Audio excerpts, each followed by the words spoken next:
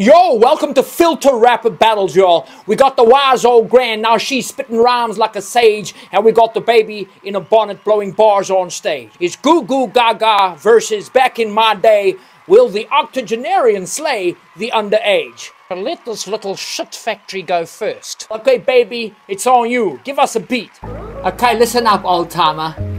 Hello, Gran. You're as wrinkled as jerky. Is that your chin or a Thanksgiving turkey? It's like an old leather bag shag the planet Venus. You've got more extra skin than my granddaddy's penis. I'm sorry, you're deaf. It's okay, you're in luck. I'll use sign language. You're as old as fuck. Oh, not yet in school, but schooling. Okay, Gran, you're up. Listen up, Junior. Little tot in a diaper, no brain, all drool. Granny still sharp, your IQ's at preschool. Mommy's little helper, her little daffodil. No, mommy just regrets that she wasn't on the pill. Party friends and travel all vanished into shit. Now because of you, mommy's just a cow with tits. Oh, the aged getting raged.